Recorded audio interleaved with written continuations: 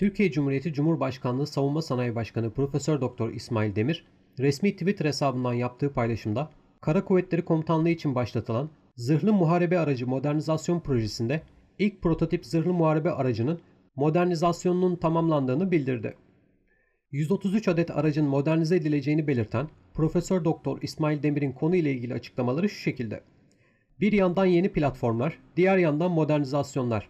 Kara Kuvvetleri Komutanlığı için başlattığımız Zırhlı Muharebe Aracı Modernizasyon projemizde Aselsan FNSS işbirliğinde yoğun bir tasarım ve entegrasyon çalışmasıyla ilk prototip zırhlı muharebe aracının modernizasyonu tamamlandı.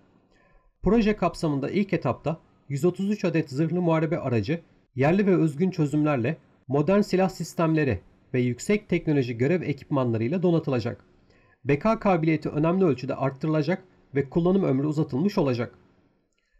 Suriye'deki harekatlarda TSK envanterindeki tanklar dışında ACV-15 zırhlı muharebe aracının da modernizasyon ihtiyacı olduğu görüldü.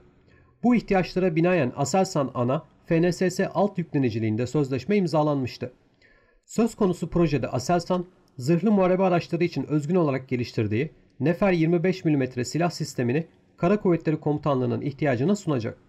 İlave olarak özellikle Altay projesi kapsamında geliştirdiği M60 Fırat projesi kapsamında da tanklara entegre ettiği Aselsan sistemleri ile diğer paydaşlara ait zırh, koruma astarı, mayın koruma, otomatik yangın söndürme sistemi, kimyasal, biyolojik, radyolojik, nükleer sistemi, klima gibi alt sistemleri de ana yüklenici sorumluluğunda ve tüm sistem sorumlusu olarak araçlara entegre edecek.